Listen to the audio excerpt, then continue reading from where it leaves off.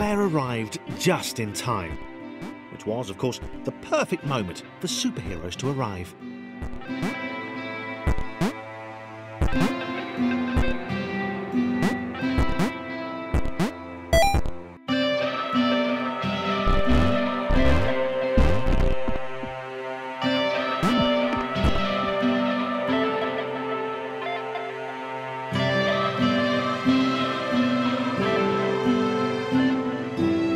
Water began to rise, Claire vowed to save this little rectangle in as many restarts as it took.